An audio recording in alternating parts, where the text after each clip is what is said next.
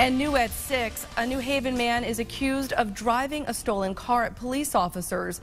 A car was stolen from Orange and it was tracked to the top of East Rock last night. Police found it.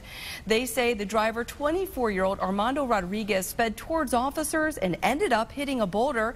That sent the car flying through the air. It landed in a ditch. Rodriguez was taken to the hospital.